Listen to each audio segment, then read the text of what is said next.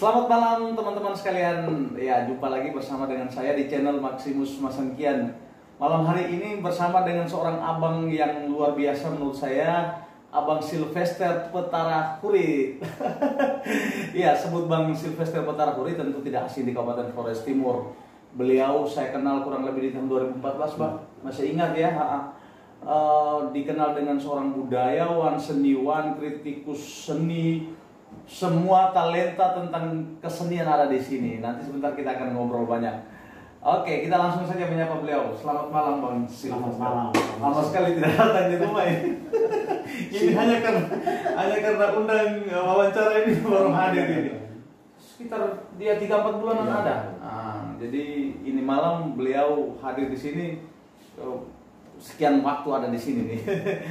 Bang, ngobrol kita ini sebenarnya lebih kepada saya mau menggali eh, pemikiran, konsep dan juga pandangan-pandangan tentang budaya. Nah, eh, mungkin boleh berkomentar sedikit di awal ini budaya itu di kepalanya Bang Sili itu seperti apa sih?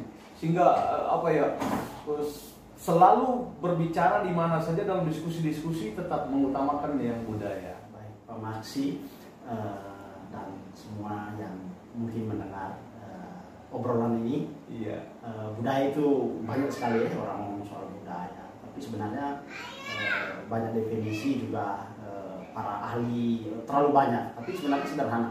Budaya itu kan eh, terkait dengan budi, ya. budi dan daya loh.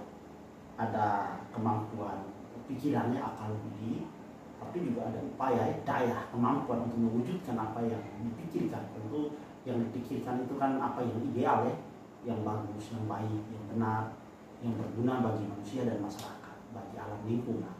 Nah dan pada kebudayaan itu kan ada eh, gagasan ideal rasional.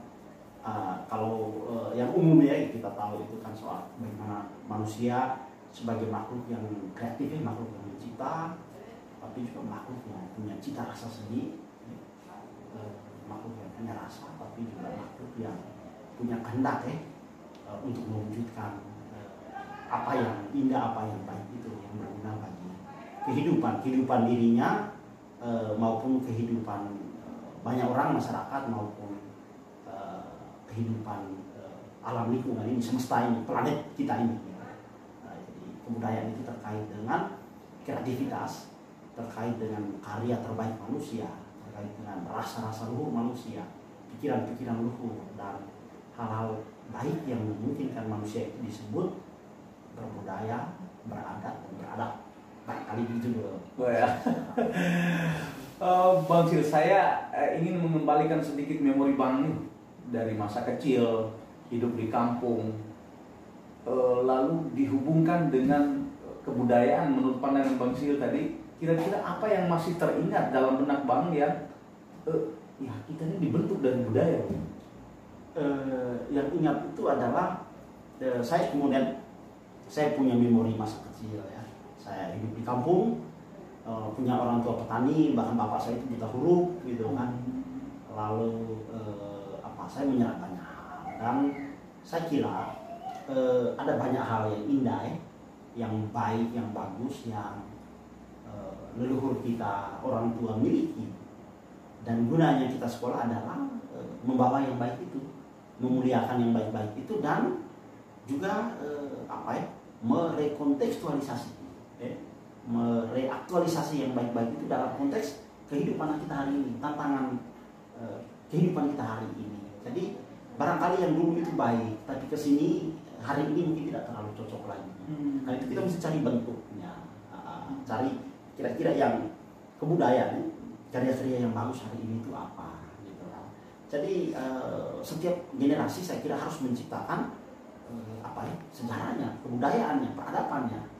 Ah, dan kita tidak bisa mewarisi sesuatu yang masa lalu atau kita bawa yang lalu ke sini atau juga kita tidak bisa eh, apa ya memikirkan sesuatu yang baik ke depan kalau misalkan juga kita tidak tidak lepas dari rentetan tradisi ya tradisi itu bukan soal apa ya, tradisi itu sesuatu yang yang yang hidup gitu kan yang harus dibaca ulang yang harus di di, di dibaharui yang harus ditemukan eh, bentuknya hari ini. Dan saya kira belajar juga sama. Pendidikan itu sebenarnya ya tadi menciptakan kebudayaan. Tentu dengan e, mengelola bahan mentah apa yang sudah ada sebelumnya. Dan menemukan hal-hal baru yang penting yang berguna yang baik hari ini. Gitu. Jadi kalau kita sekolah sekolah tinggi tinggi kalau kemudian tidak bisa bisa menciptakan sesuatu tidak bisa menemukan sesuatu yang cocok hari ini untuk menyelesaikan persoalan-persoalan kita masalah-masalah kita apa gunanya? Nah, kita juga ada pertanyaan di bagian itu ya? Apa gunanya? Apa gunanya sekolah? Kalau kemudian hal-hal kecil itu tidak bisa selesaikan nah, Hmm. itu permasalahan. Orang tua dulu barangkali mereka bilang sekolah-sekolah sampai bodoh itu barangkali juga itu ada, ada, ada benarnya gitu. Agak ironis tapi saya kira eh, harus dibaca kadang orang melihat pembangunan itu kan sering terjebak pada fisik ya. Tapi apakah juga batin manusia gitu kan? Jiwa manusia apa ya keramahannya persaudaraannya kekerabatannya empatinya itu juga masih kuat hari ini gitu. Di tengah terpaan zaman yang harus informasinya begitu cepat. Eh, kita dengan begitu mudah apa ya mengakses eh, kebudayaan-kebudayaan dari luar nilai-nilai eh, peradaban gaya hidup hari ini ya yang yang makin membuat kita harus melihat kembali eh, hidup kita hari ini seperti apa dan ke depannya bagaimana. Benar kita mengalami tantangan ekologis ya. Suhu bumi makin tinggi dan lain-lain. Nah, kita juga harus bisa melihat ke depan. Kira-kira kalau kondisi ini dibiarkan 50 tahun ke depan kita menjadi seperti apa? Menjadi bagaimana? Karena juga kebudayaan itu harus juga punya visi ke depan visi ke masa depan. Nah, nah, dan itu kan harus diciptakan. Harus ditemukan dengan belajar terus. Kita tidak tahu kira-kira ke depannya akan seperti apa. Jangan-jangan suatu saat kemudian eh, air lebih mahal. Air, ya. air lebih mahal dari bensin. Itu pernah judul kompas juga Ya, ya, saya juga beberapa kali juga melihat itu kan. Jangan-jangan karena memang kita harus bisa melihat ke depan. Atau jangan-jangan ke depan juga apa ya eh, apa so, tolong menolong ini makin hilang. Gitu. iya iya dulu misalkan orang bangun gereja jembatan rumah dan lain-lain orang miskin juga bisa punya rumah yang baik karena gotong royong itu Eh, sekarang itu kan bisa satu bangunan anggaran miliaran tapi juga hasilnya begitu-begitu saja gitu. Nah, ada kemerosotan sebenarnya, Iya, ada iya. kemerosotan moralitas di sana, etos kerja di sana. Gitu kan. Jadi memang manusia itu kan dibaca secara kompleks. Bukan saja fisik tapi aspek batinnya, rasanya, pikirannya, empatinya gitu. Karena di samping rumah itu sekarat, kita di sini bertituk riang. itu kan ironi sebenarnya kontras-kontras hidup gitu kan masyarakat ada yang setengah mati gitu kan apa e, berjubel gitu kan di pasar hanya seribu rupiah itu kadang tidur di pasar sementara kita yang sudah punya mobil baik mengajukan anggaran untuk beli mobil lagi harganya ratusan pejabat publik. Kan ini kan gap sebenarnya. Nah, ini, ini bukti bahwa kita tidak belajar gitu. Gitu ada kemerosotan peradaban gitu. Eh, Bang Sil, eh, mulai kemudian menyampaikan pandangan-pandangan tentang budaya, ketajaman-tajaman pikiran Bang menggugah orang untuk kembali melihat jati dirinya, itu sudah mulai muncul kapan itu Bang? Eh, apakah dulu waktu di seminari atau di usia-usia SD, SMP itu ada tanda-tandanya apa Bang? Nah, ini kan eh, seorang apa ya anak muda Flores Timur yang eh, apa ya eh, sangat setia di jalur ini bagaimana menyampaikan pikiran. Orang kan di tengah informasi perkembangan digitalisasi orang rame-rame ke sana. Tapi Bang Sil tetap masih bicara tentang budaya bicara tentang tradisi yang menurut banyak orang mungkin ah, itu kolot itu itu sudah tidak zamannya lagi. Mungkin ada ingatan tentang itu. Eh, saya sendiri tidak tahu persis ya, tapi eh, saya dari kecil itu memang anaknya eh, tidak terlalu juga bergaul, tidak terlalu bergaul. Eh, tapi memang dikenal anak yang memang keras kepala. Dan suka memberontak. sampai sekarang? Eh, sampai, sampai sekarang saya kira sekarang. Hanya saya orangnya tidak apa ya, tidak tidak tidak kelihatan vulgar, tidak apa, Hmm. tapi untuk hal yang hal-hal yang prinsipil saya kira itu prinsip, prinsip itu harga mati prinsip. Jadi eh, kayaknya eh, apa ya eh, soal kebudayaan ini juga soal soal minat ya, Hmm. soal minat, soal juga kepekaan dan saya itu sebenarnya eh, saya tertarik sama manusia itu dasar Nah, saya, saya itu tertarik sama manusia. Jadi saya dikasih uang saya tidak terpakai. Dikasih barang saya gaptek. Tapi kalau eh, apa ya eh, disuruh berhubungan dengan manusia, cerita hidup dan saya suka. Walaupun saya ini orang yang juga tidak terlalu apa ya eh, senang bergaul. Saya memanfaatkan waktu itu banyak dengan mengerjakan hal-hal yang saya kira eh, positif, eh, setidaknya begitu. Eh, dan apa ya? Saya selalu merasa begini ya saya ini juga orang yang tidak mudah apa ya, tergoda untuk eh, apa ya, eh, menerima sesuatu baik secara materi, jabatan dan lain-lain. Karena saya pikir apa ya, apakah itu baik untuk saya? Apakah itu berguna untuk saya? Jangan-jangan saya dapat uang banyak, saya dapat barangkali jabatan dan lain-lain, tapi itu tidak baik untuk saya. Kan ini kan juga harus selalu dilihat. Manusia itu kan selalu melihat dirinya, jangan sampai kedodoran gitu kan. Nah, jangan sampai overacting gitu. Nah, gitu. Jadi saya ya menakar diri saya dan kiranya kan saya sedikit ada eh, bakat seni sedikit minat ke sana. Saya pikir saya tidak bisa buat banyak hal, saya tidak bisa eh, apa, eh, apa bekerja yang seperti orang lain ya saya bisa begitu ya ya eh, segitu. Tapi sebenarnya yang lebih dasar dari itu sebenarnya saya mencintai manusia sebenarnya Nah, dan, dan kehidupan. Saya tidak tidak betah kalau misalkan ke kota saya tidak betah kalau berhadapan dengan dinding-dinding, tembok-tembok atau bekerja dengan peralatan-peralatan. Tapi kalau saya melihat ke kebun, melihat eh, padi, itu kan menginjak tanah basah, eh, bertemu dengan orang, saya merasa eh, apa ya? eh, ada kegembiraan di sana saya kira. Jadi eh, apa ya, berbudaya itu sebenarnya bergembira sedikit. Bergembira dan bersyukurlah. Nah, kan juga tahu diri proporsional. Oh, Bang punya apa ya eh, jenjang sekolahnya SD-nya di kampung, Saya SD di kampung, SMP? SMP di kampung, di kampung juga. Ya. SMA-nya yang ke seminari. SMA seminari. Nah, nah, cerita sedikit dulu di seminari ini, pengalaman berteater, berkesenian. Lalu saya juga pernah dengar cerita kalau tidak salah Bang Sil pernah cerita saya eh, saat Bang Sil harus memilih eh, kuliahnya di kesenian dan eh, itu tidak banyak orang pilih dan wah ini nanti akan jadi apa itu? Mungkin bisa diceritakan ini menjadi inspirasi untuk generasi muda dari bawah bahwa memilih eh, jalur pendidikan di kesenian juga eh, sangat berarti sebagai seorang manusia dalam menghidupkan tradisi-tradisi kebudayaan gitu. Eh, memang saya itu apa ya? Saya dulu memang punya niat betul mau jadi imam, jadi pastor ya. ya. Saya, saya memang banyak. Juga robek juga ya bang? Belum aku coba, tapi eh, saya eh, sangat berniat. Tapi kemudian saya melihat ya di perjalanan saya melihat apa ya? eh, terlalu dogmatis kadang. Eh, apa ya, eh, entahlah ini, persoalan di mana karena kita juga terlalu cepat menghakimi orang. Kita omong ideal tapi sebenarnya kadang juga kita tidak sungguh-sungguh terlibat pada kehidupan konkret kan.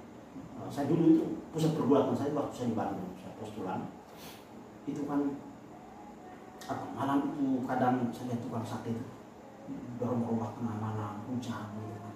Saya kadang serasa miris gitu. Lalu eh, kadang saya mau nongkrong dengan tukang beca ya becanya pakai sewa gitu. saya tanya eh, sehari itu dapat bersih berapa? Kadang mereka bilang tiga puluh ribu kadang enam puluh ribu.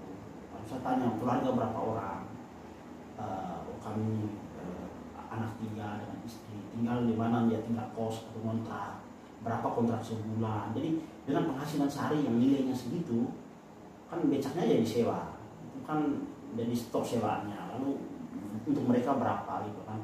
Lalu kalau dibayarkan makan tiga kali untuk lima orang gitu kan itu dia makan apa? Nasi dan apa? Saya saya juga rasa banyak kehidupan yang getir sebenarnya. Sementara kita ini ngomong Tuhan itu kan di khotbah-khotbah lancar di mana-mana. Biara itu kan apa ya? Barangkali kita kerja tidak kerja juga di kulkas itu ada makanan juga gitu kan. Saya rasa ah ini ada, ada persoalan sebenarnya di sana ada, ada gap lah ada gap.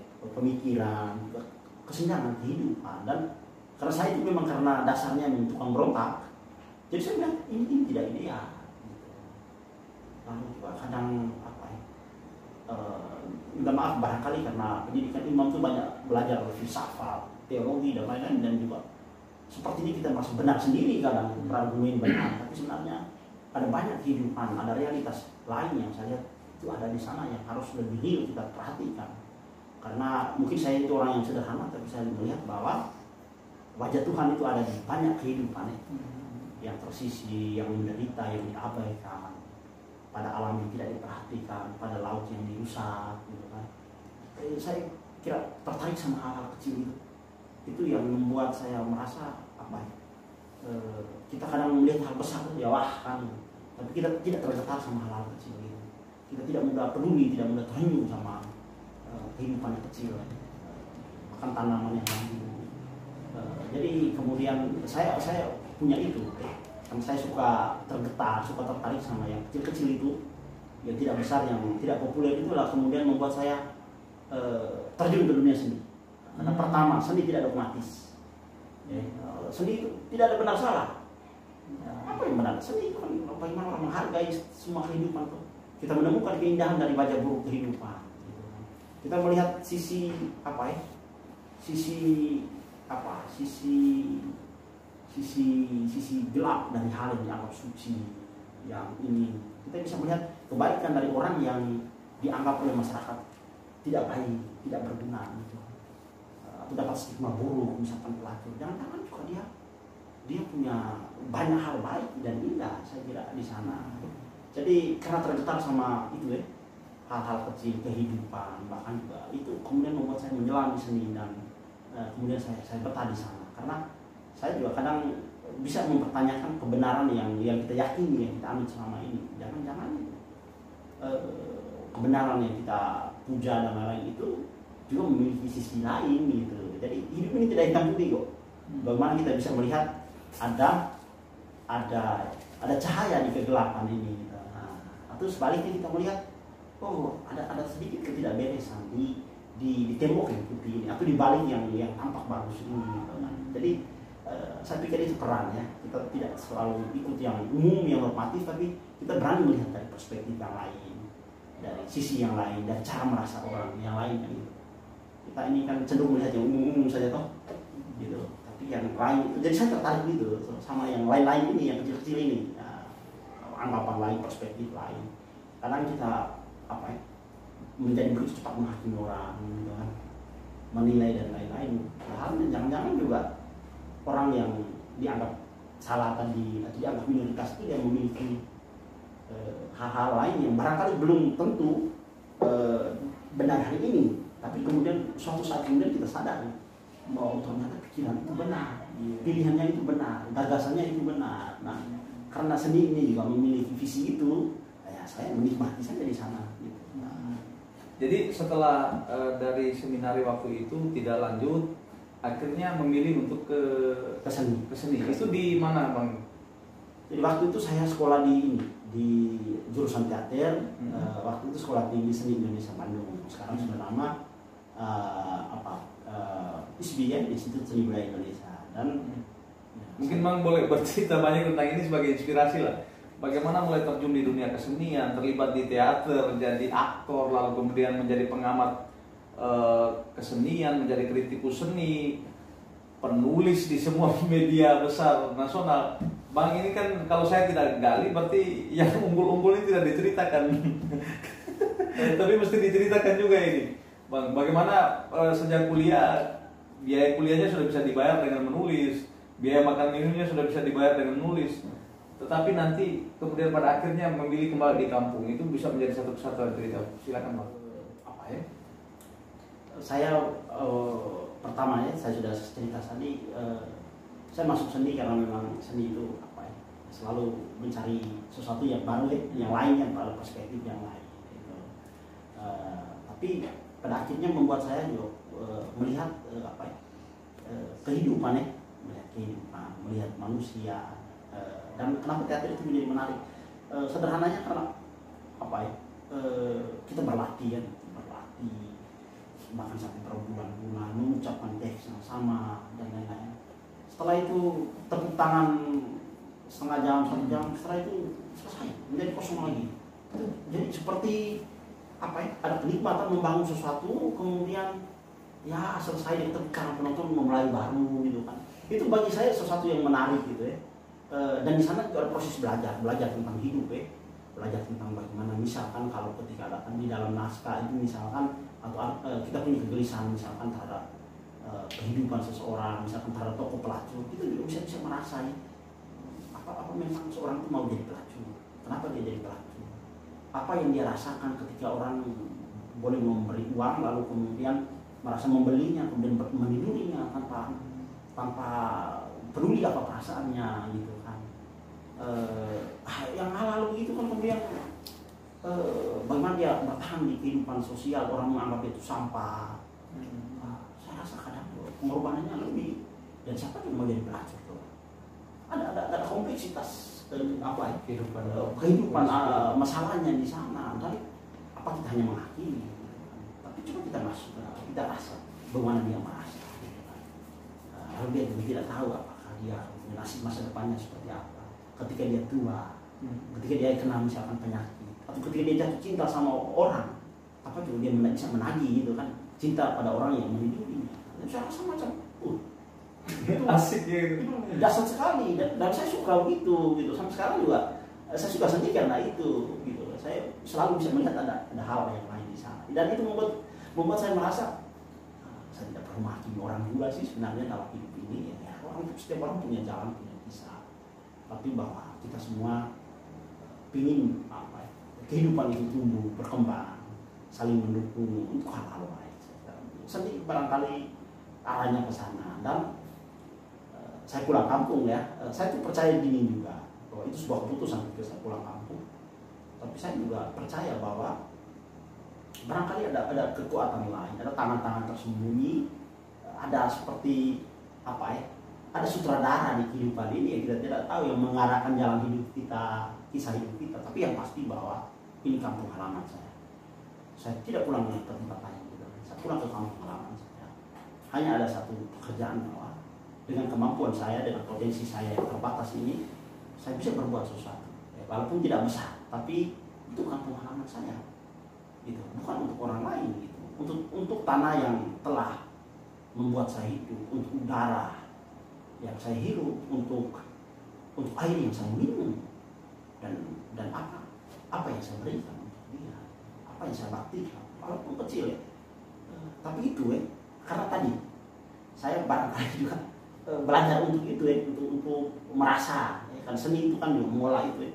Mengolah rasa mengolah batin dan saya saya belajar begitu. Jadi kan kemudian kita melihat bahwa keberhasilan itu kan bukan hanya uang.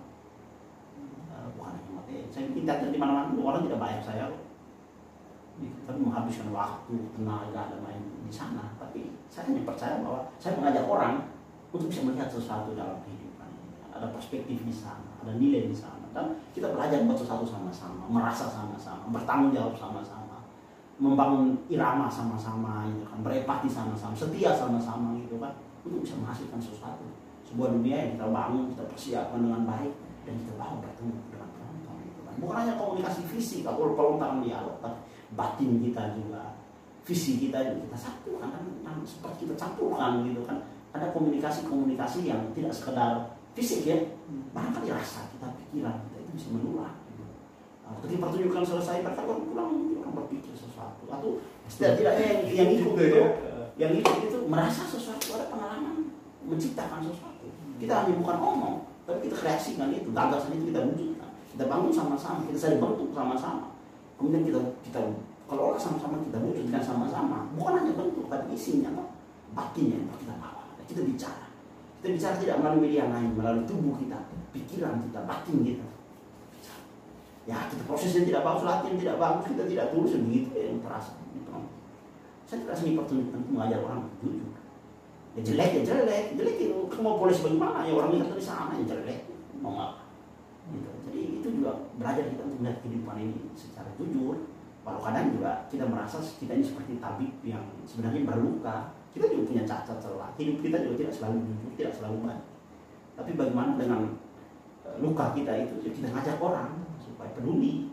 Itu peduli pada kehidupan pada tradisi pada karya-karya baik pada perasaan-perasaan luhur pada pikiran pada alam pada tanah dan langit bumi kita pada hal-hal yang sudah bagus yang dikerjakan oleh orang tua kita dan guru kita. Ya saya kira eh, begitu ya e, apa saya akan ditanya soal berkesenian dan saya pulang kampung pulang ke tanah tempat darah tidak ada pilihan lain.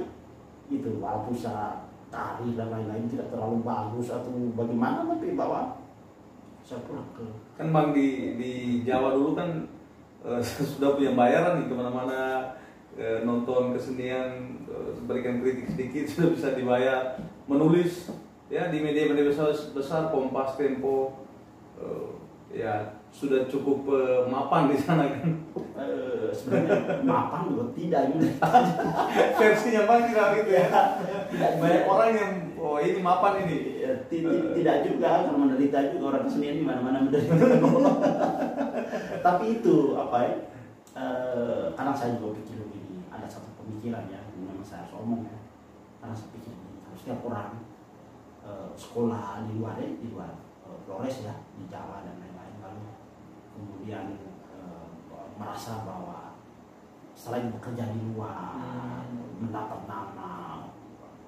Dan lain-lain lalu kemudian tidak berpikir untuk pulang. Memulai sesuatu di kampung mengajak orang-orang di sekitar melakukan hal-hal kecil lalu bagaimana daerah kita kalau semua orang bahkan banyak orang pintar dengan bakat-bakat terbaik selalu di luar. Walaupun kita tahu bahwa di luar itu kemungkinan untuk tumbuh berkembang itu kan lebih dapat lebih cepat lebih baik. Tapi kalau tidak ada orang yang pulang kampung dan memulai sesuatu di sini bertahan di sini eh, saya kira itu juga apa ya? Waktu itu juga saya pikir ya biar saya pulang lah. Saya sudah pulang saya sudah tahu ya saya sudah selesai lah kalau sudah pulang. Tapi paling tidak saya bisa memulai sesuatu supaya adik-adik setelah saya itu paling tidak mereka sudah tidak berdiri di atas nol lagi tuh. Ada sesuatu yang sudah saya fondasi. uh, yang meletakkan fondasi kelihatan heroik banget tapi ada sesuatu yang saya sudah mulai gitu kan. Ngajak teman-teman di sini dan lain-lain. Ya ke depan itu uh, di dunia kecil ini yang saya, saya tekuni gitu uh, itu uh, bisa tumbuh berkembang dan saya pikir yang penting kesenian itu adalah proses. Orang harus serius gitu. Menekuni sesuatu mendalami sesuatu gitu. Kalau kalau tidak serius kan ya tidak bisa lah. Nah, saya tidak pernah percaya saya orang teater itu saya percaya proses gitu. tidak pernah instan tidak bisa kita jadi bintang dengan cara cepat. Kita tidak bisa menghasilkan sesuatu yang baik cepat gitu kan. Pelan pelan tapi kita punya fondasi gitu ya kita percaya pada apa yang kita lakukan walaupun kecil. Yang walaupun mungkin hasilnya juga belum bisa dilihat hari ini. Hmm. Nah, tapi kalau kita percaya itu baik nah, ya saya bisa ini ya saya lakukan ini gitu. Saya ngajak orang lebih banyak lebih banyak terlibat. Walaupun kadang hasilnya juga kita tidak tahu tapi hal-hal kecil saya kerjakan. Ya saya orang apa pegawai negeri kan gitu. Saya kerja di kantor kalau saya tidak memadai ya saya bisa kerja di luar tuh dengan kelompok dengan sekolah kelompok mana-mana saya kadang dengan masyarakat dengan komunitas bahkan juga dengan teater yang saya punya. Lalu anggotanya juga saya ngajak mereka bentuk kelompok yang buat sesuatu yang diminati dan lain-lain. Kita bekerja. Karena saya pikir daerah ini tumbuh eh, bukan pada pemerintah gitu kan. Pemerintah sentris itu sudah saatnya dibalik gitu kan. Sekarang komunitas-komunitas harus tumbuh harus punya event harus punya kegiatan harus punya ini. Kelompok-kelompok anak-anak muda dan lain harus bekerja daerah ini ada di tangan kita kota ini tumbuh oleh kita semua ini gitu. Bukan lagi pemerintah pemerintah itu kan fasilitator bikin hal umum regulasi mendorong bikin perlindungan dan lain-lain itu buka ruang. Tapi ya kita ini harus tumbuh Kreativitas itu itu harus tumbuh di mana-mana. Kalau tidak kreatif bagaimana coba? Nah, kalau banyak kota besar hidup karena tumbuhnya komunitas. Komunitas kreatif, kreatif. eh, sektor usaha jasa dan profesional itu harus tumbuh banyak pemikiran yang lahir kota ini kita diskusi sama-sama daerah ini kita bicarakan sama-sama ada pikiran baik dan kita libatkan sama gotong royong itu membantu. Modal itu bukan hanya uang gitu. Nah, kerjasama gotong royong. Tadi itu kan sudah dilakukan bukan pada hal baru itu orang tua itu sudah melakukan itu hanya kita tidak belajar sebenarnya.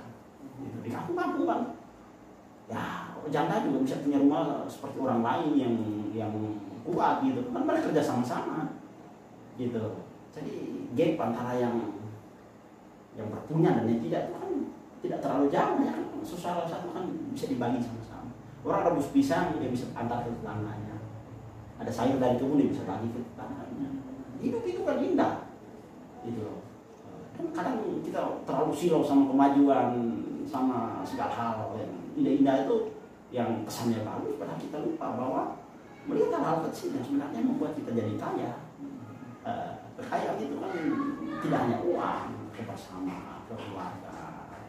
Itu bagaimana saya tidak bisa tenang kalau uh, tetangga saya tidak makan apa-apa kita harus rasa jangan sampai orang menderita sementara kita naik di mobil ya juga masyarakat bayar kita naikin kaca dan tidak peduli. Ya itu ya soal. Itu kan hal yang memang harus kita bicarakan gitu. Saya juga kadang merasa aja kadang apa ya eh, bikin pertunjukan dan lain-lain itu juga cari uang seratus dua ratus kan susah setengah mati untuk bisa support kegiatan kegiatan itu ada kalanya kan kejadian orang yang barangkali hal-hal tertentu uang itu begitu mudah hanya karena juga peruntukannya juga kita tidak tahu itu apa. Jadi saya pikir tugas kita untuk saling mengingatkan. Dan seninya juga itu uh, saat masyarakat menjadi begini nilai-nilai menjadi lebih kabur kehidupan itu ya tugas seni ada di mengingat dia mengingatkan gitu kan. oh begini oh begini gitu. walaupun tidak selalu ideal dan saya memilih ada di situ walaupun saya seorang pegawai negeri tidak masalah gitu. saya bekerja juga dengan baik ya. tapi juga saya juga harus mengatakan sebagai orang seni juga apa yang ideal atau apa yang seharusnya gitu walaupun apa yang apa apa yang kita pikir bukan hanya pemikiran kita hanya hal kecil kebenaran kecil yang kita miliki tapi tugas kita ya saya mendengarkan dan saya tidak peduli saya kerja dari pegawai tidak ada soal gitu kan saya ngomong sesuatu yang baik gitu, uh, Timur hari ini bang uh, dalam hubungan dengan bagaimana melestarikan kebudayaan dan pandangan-pandangan ke depan yang mesti kita uh, kita rawat bersama mesti kita hidupkan uh, bang memandangnya seperti apa? Uh, saya melihat pertama juga sekolah. Sekolah. Oh.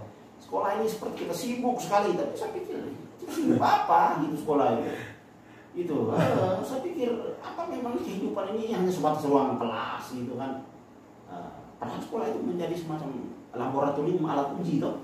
Kita belajar ini kita lihat kehidupan di masyarakat dan pembicaraan oh idealnya bagaimana jadi sekolah itu menjadi tempat di mana kehidupan itu kita kita belajar. Uh, kita belajar. Ini sekolah kadang terlalu ribet sana sini saya pikir apa dan sebenarnya apa sekolah ini? Jadi saya kira eh, apa ya? Dan itu harus bisa disiplin sistemnya gitu kan. Dan belajar yang paling bagus itu kan belajar pada masyarakat pada realitas sekeliling itu pada lingkungan itu, itu jadi apa ya? Saya pikir hal-hal ini kan harus dibiasakan harus dilatih. Kemudian setelah dilatih kan lama-lama dia jadi kebiasaan bahasa kemudian jadi etos gitu kan. Dan itu kan harus diciptakan sistem ini. Nah, contohnya itu kan. Misalkan anak-anak SD kita bisa bisa latih mereka uh, menari menyanyi. Hmm, masuk ke, ya, ke uh, sekolah uh, ya istilahnya tercipta. kita SD kita latih begitu SMP nanti ada tingkatan uh, SMP kita mulai uh, latih mereka menulis uh, apa uh, apa misalkan cerpen kecil-kecil puisi kecil-kecil perbuk muloknya sudah tapi ah, belum ya eh, SMP, masih sebatas perbuk dan, dan itu kan kita belajar mereka menggali dari pengalaman. Apa yang apa yang dia rasakan yang dia lihat di masyarakatnya dia kelola. Isma barangkali kita bisa kembangkan model lagi misalkan mereka ada ada festival teater remaja atau apa supaya SD mereka punya sesuatu yang dilatih itu kan dari kelas ke kelas SMP SMA dan mereka punya ajang untuk me, apa mempresentasikan itu. Bang, ini nah. omong soal sekolah, ya. pasti berhubungan dengan siswa, berhubungan dengan guru. Guru, siswa nah, belajar, guru belajar. Uh, nah, oleh karena itu ini langsung minta pandangan untuk PGR ini. Uh, seni tahun kemarin kami sudah buat. Hmm. Olahraga tahun ini kami sudah buat dengan kala siswa kemarin. Target 2023 ini kita omong uh, soal budaya. Ada ruang belajar bersama peserta didik tentang kebudayaan. Mungkin ada gagasan. Konsep awal kita mungkin sedikit mengadopsi yang bang mereka buat bersama dengan dinas pariwisata itu soal uh, apa ya teater remaja untuk anak-anak SMA itu mungkin ada yang bisa disampaikan sehingga uh, kita nanti akan kerucut pada diskusi untuk kami akan bisa lakukan itu mungkin. Uh, saya pikir kan menarik. Karena ini sudah sudah bicara tentang sekolah, sekolah. anak guru ini. Guru, ya, ya. kan Tapi bang guru ini kayak punya potensi banyak. Mungkin ruangnya saja yang mesti ini. Jadi ini mulai kita buka-buka uh, ada ruang yang mungkin akan guru isi di situ. Nah tentang kebudayaan ini uh, kemarin Bang Sir dan teman-teman di IGI sudah mulai, ini juga menjadi inspirasi. Dan saya pikir uh, ya tahun depan juga ada ruang untuk kami bisa dorong itu ruang budaya. Ya. Tapi lebih ke melibatkan sekolah-sekolah gitu. Ya. Mungkin ada pandangan gitu. uh, saya pikir uh, tahap kalau untuk untuk anak sekolah itu kan tugasnya untuk pendidikan loh. Nah, Iya, iya. menjadikan uh, seni atau peristiwa seni atau event itu sebagai media edukasi loh. saling belajar satu dengan yang lain. Belajar menggali sesuatu kemudian meng- menggarap kemudian mempresentasikan sama-sama. Di sana sekolah-sekolah bertemu Iya, iya, iya. saling belajar bersilaturahmi. Sehingga eh, dulu kan kita pernah punya event eh, remaja. Nah itu. seni pertunjukan remaja. Hmm. tapi kemudian berhenti karena persoalan anggaran eh, yang terbatas dan lain-lain. Dan itu sudah saatnya sekolah harus ambil. Karena itu penting gitu Eh, siswa belajar guru belajar kan belajar gali latih mereka eh, buat sesuatu lalu sama-sama belajar bikin. Itu kan kita hidupkan kota juga hidupkan pendidikan hidupkan kota silaturahmi sportivitas saling belajar gitu kan. Itu terjadi saja misalkan mulai dari tingkat apa ya apa rayon atau kecamatan. Nah, nanti baru bertemunya di- bertemu di kabupaten. Lalu kan itu berlangsung kalau misalkan sekolah kalau SMA eh, saya ikut SMA itu kalau 30 40 sudah sekian hari ekonomi sudah tumbuh saling belajar sudah jalan ruang-ruang diskusi di luar itu kan Bahkan kalau misalnya ada pejabat nasional datang kita tidak bingung lagi ini cari dari mana yang akan mengisi acara ini. Cara. Gitu deh. sudah tumbuh dan dan tradisi itu harus jadi tradisi itu harus dibiasakan dia kan bisa menggali apa yang dia punya bentuknya bisa macam-macam dia bisa gali cerita rakyat dia bisa ngangkat kehidupan seorang petani kecil di kampung dia bisa cerita asal usulnya kejadian tempatnya di sana mereka belajar dalamnya itu mereka bisa menari kan. Kalau teater itu kan seni yang kompleks ya. Mereka bisa menari bisa menyanyi sama-sama. Itu kan rasanya diolah dan itu harus disiapkan. Kita tidak bisa berharap bahwa jadi pemimpin itu punya kepekaan. Kalau kepekaan itu tidak latih. Kesadaran ruang kepekaan gerak proporsional cara bicara eh, bagaimana merasa dan lain itu kemampuan yang dilatih. Itu. Sehingga suatu satu dia menjadi orang yang tahu gitu kan bagaimana berkomunikasi bagaimana memahami orang bagaimana merasa gitu. Ini kan omong rakyat rakyat rakyat. Apakah yang sungguh-sungguh merasakan cerit kepedihan masyarakat yang tidak mereka sampaikan? Barangkali melalui hanya ekspresi wajah persuan di pasar duduk di toko gelisah anak yang mau sekolah kemudian terpaksa pergi merantau meninggalkan suami anak di sini apa eh, istri ada di perantauan atau sebaliknya dengan kehidupan yang makin kompleks sementara di pihak lain budaya pesta makin tinggi. Hidup yang bagi saya itu tidak masuk akal gitu loh. Sementara kegiatan keagamaan yang begitu tinggi sana kemari. Tapi apakah juga sungguh-sungguh menyentuh kehidupan kehidupan kecil itu. Gitu. saya kira ya semua itu harus dilatih dan ditradisikan. Bagaimana kita umat generasi ini tumbuh atau kita khotbah mereka ini pemabuk peminum tidak produktif. Ya, kapan kita siapkan ruang untuk mereka menghabiskan hal produktif untuk pra- perasaannya kepekaannya untuk mengasah pikirannya untuk mengasah tubuhnya batinnya gitu kan. Semua itu kan harus sekolah gitu. kan Nanti kita ngomong pendidikan ya kompleks ya. Ya komprehensif ya. Kita ngomong soal rasanya soal tubuhnya soal geraknya lakunya ya, mulai dari aspek eh, apa kecerdasan intelektual emosi motorik dan segala macam tuh. Ah, dan itu harus dilatih. Tidak hanya omong gitu. Kita omong misalkan apa? Kita mau omong soal apa naik sepeda. Tidak kita tidak bisa omong. Hanya teori oh naik sepeda begini angkat kaki sebelah kemudian di atas gayung tidak itu itu juga praktek lagi jadi dua, dua hal ini teori juga penting praksis juga penting. Ya praksis yang memang disitakan sistemnya dilatih sehingga dia tumbuh. Kalau ini berkembang jalan terus baik kita boleh berharap punya generasi yang bagus gitu. Kita ini kan lucu. Misalkan kita apa omong soal eh, apa, apa menulis puisi atau cerpen ya orang guru bahasa Indonesia tidak pernah menulis cerpen bagaimana coba menulis cerpen bagaimana tidak pernah dilatih gitu kan Iya iya. iya. Eh, jadi kita jalan sudah kaku belum kurikulumnya kaku nanti itu kaku semua nanti besok usah stres lah tidak ada kemungkinan Saya mau minta pandangan juga nih, eh, perkembangan arus digitalisasi informasi begitu cepat, Bang. Hmm. pesat sekali. nih. Nah, sudah sangat masuk jauh nih ke generasi muda. Nah, bagaimana Bang melihat ini eh, kalau dihubungkan dengan eh, ya nilai-nilai kehidupan kita yang sudah terwariskan dengan baik, yang tadi ya eh, jangan sampai kita kabur melihat perkembangan yang begitu cepat soal digitalisasi yang sudah masuk masuk kepada generasi muda ini. Mungkin ada pandangan tentang ini. ya saya pikir teknologi ini bagus ya sebenarnya bagus dia tergantung bagaimana kita mengelola dan memakainya kan karena sebenarnya dia itu eh, memberi ruang di mana kehidupan kecil kita realitas-realitas kita yang apa ya selama ini luput dari pantauan pandangan orang itu bisa akan.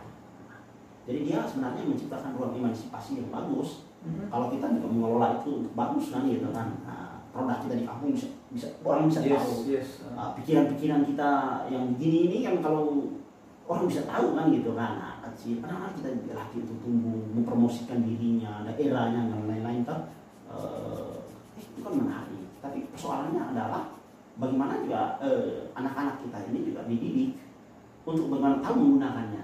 Nah, seperti anak kecil kita kasih pisau itu kan kita harus harus harus bisa bisa tahu bahwa ini untuk apa gitu kan. Kalau tidak dipotong tangannya gitu. Kita juga harus tahu ini pas atau tidak untuk anak. Lalu kalau dia pegang bagaimana itu kan penting. Itu juga bagaimana eh, menguasai eh, apa eh, apa ya eh, perangkat yang kita punya pegang HP hari ini kan ya kita bisa bisa terhubung dengan siapa kita bisa mengakses apa kita bisa eh, itu kan hari ini kan begitu. Tapi juga harus dilihat bahwa eh, apa ya eh, relasi dengan manusia itu adalah pertemuan dengan manusia itu hal yang tidak bisa tergantikan juga.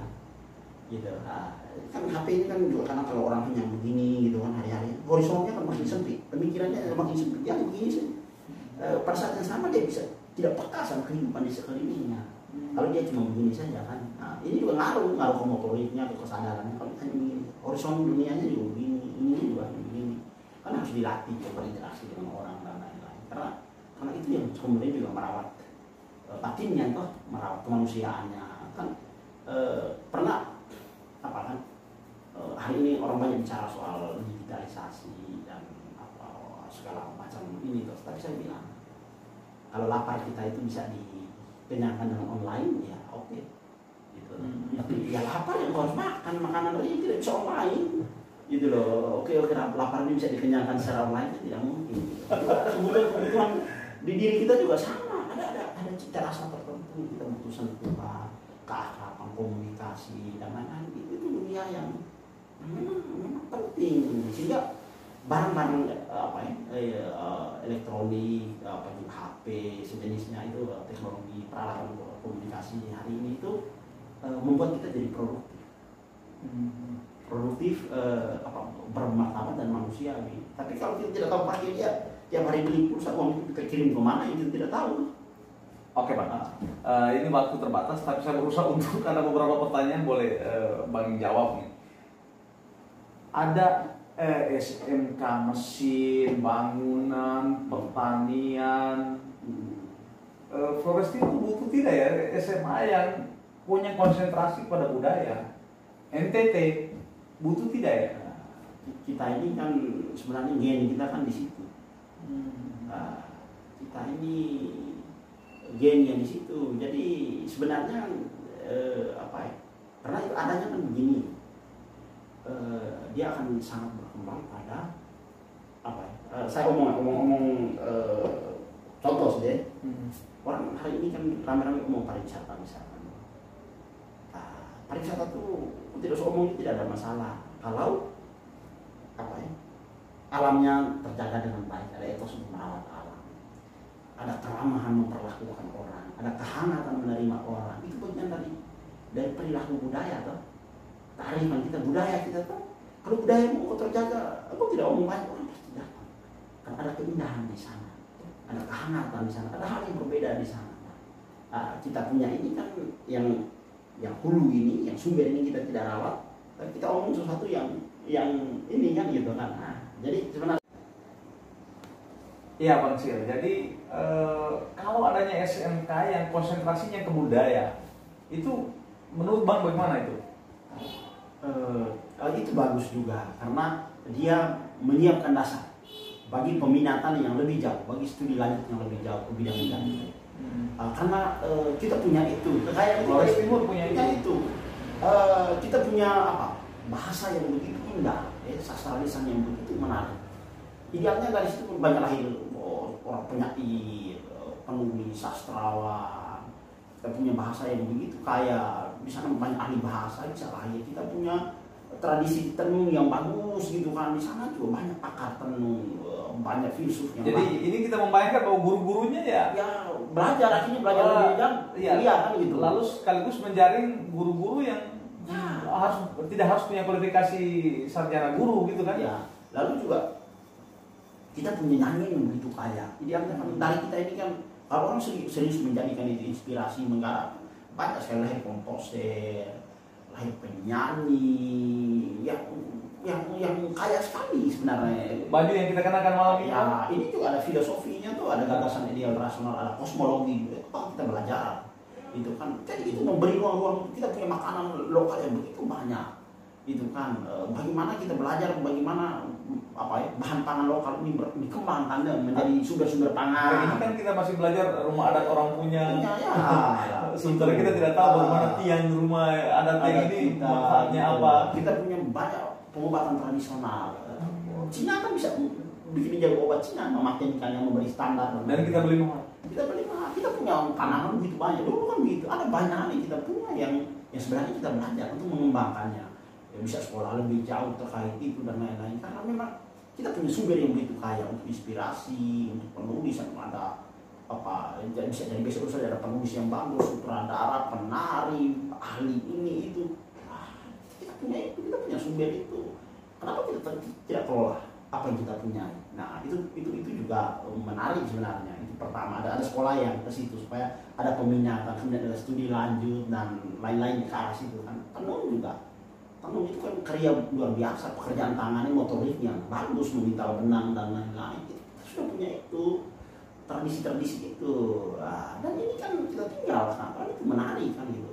Tradisi menyanyi belajar. Saya kira alamnya begitu indah. Tapi hari ini saya kira yang kurang imajinasi. Kita punya imaji kita punya ini karena itu ke depannya seperti apa? Imaji itu harus dibangun. Uh, imaji imaji ini kan harus ditempatkan dalam kerangka pembangunan daerah kita mau generasi kita seperti apa ke depan? Manusia kita menjadi seperti apa? Kita harus dibingkai hanya nggak bangun fisik saja. Itu ini kan juga harus dilihat. Gaya-gaya ini kan harus ditumbuhkan. Jadi kita ini punya potensi lain belajarnya lain gitu. Kita punya sumber ini. Iya, iya, baru Kita sumber seperti itu. ini. kita nih setiap orang datang ngomong Aristoteles segala macam Plato dan lain-lain. Sebagai tradisi ilmu ya kita belajar kok filsafat dan lain-lain tapi tidak akan pernah sama dengan mereka lah. Gitu loh. Banyak pemikiran yang unik yang kita miliki eh, dari kultur kita. Hanya kita tidak baca.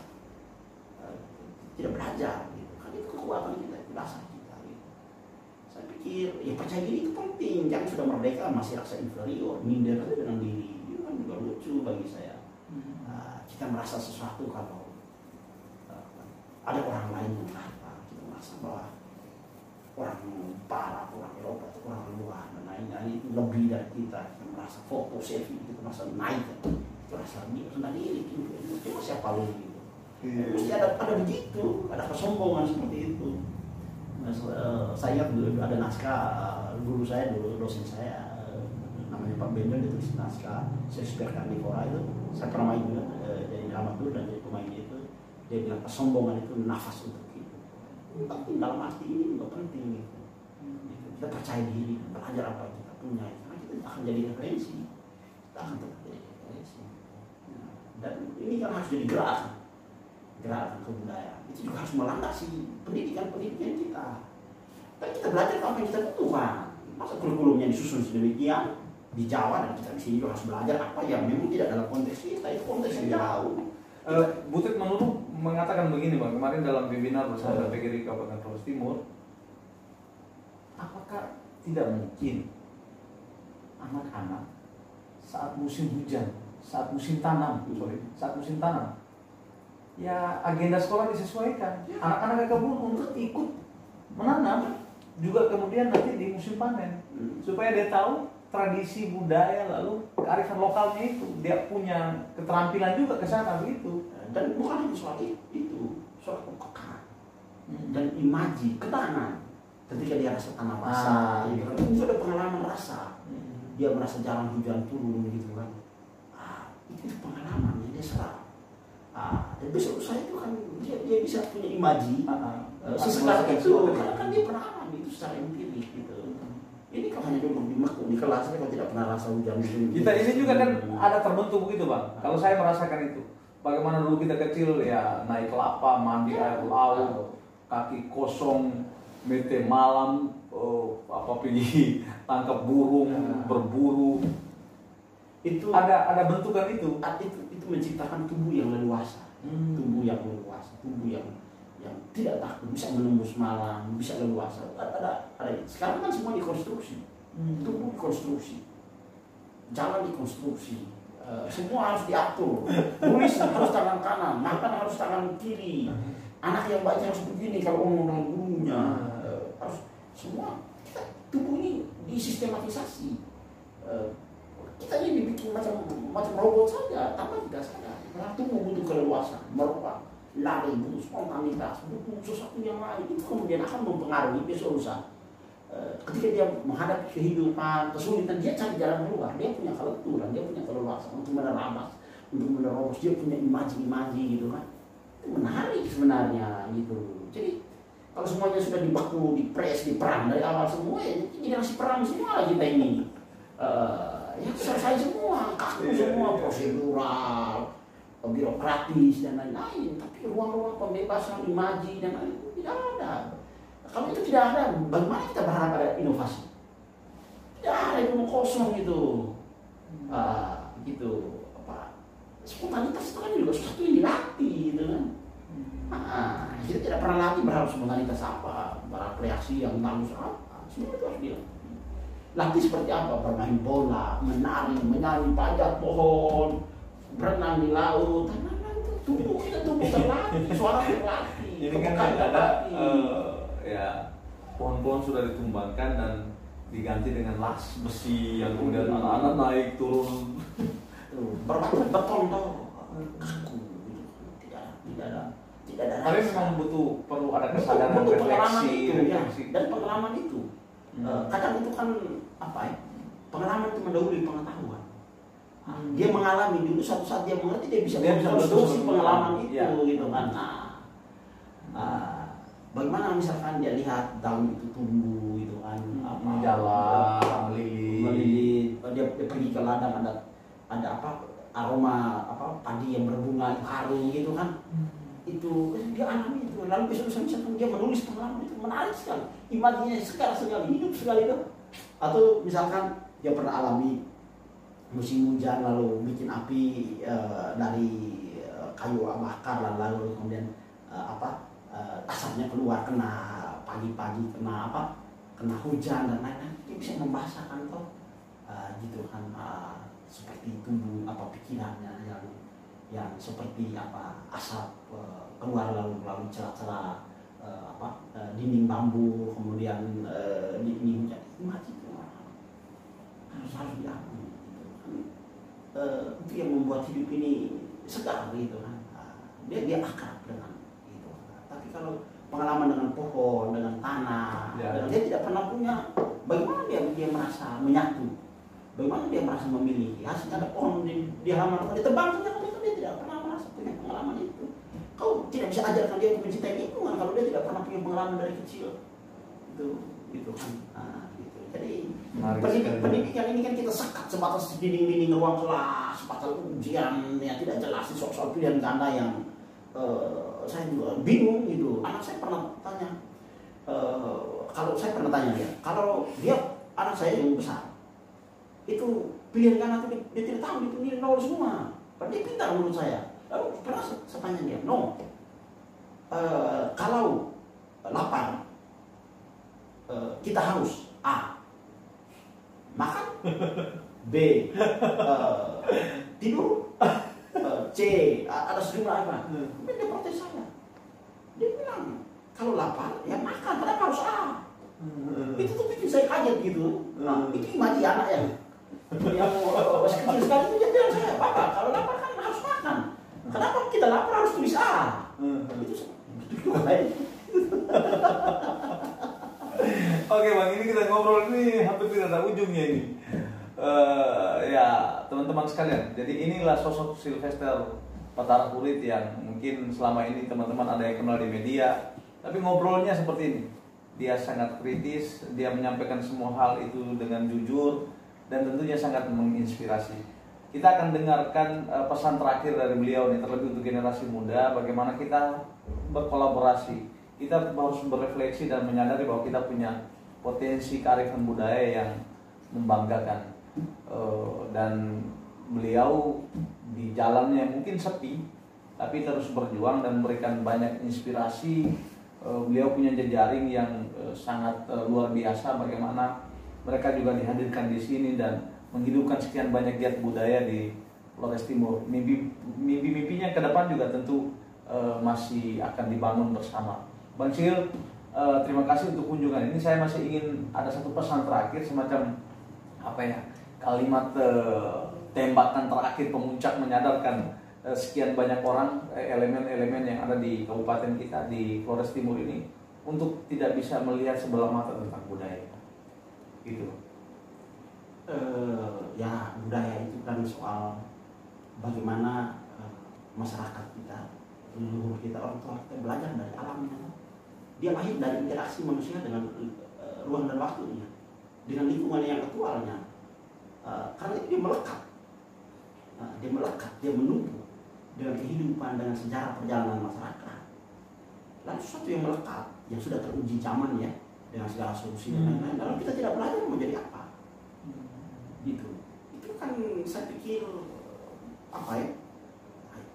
Itu itu apa ya? Itu melekat dengan diri kita. Jadi kita belajar kita kita mengetahui siapa kita.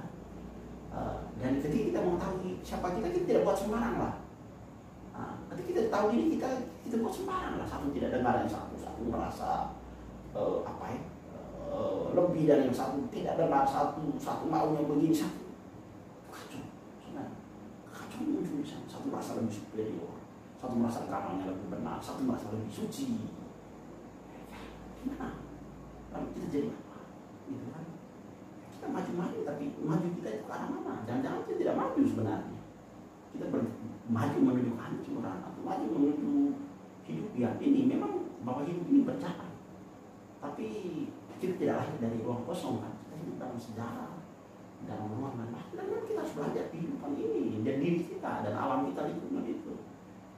Jadi bagaimana mungkin apa ya e, kebudayaan itu dianggap sebatas kesenian hmm. e, sebatas totalian tidak demikian.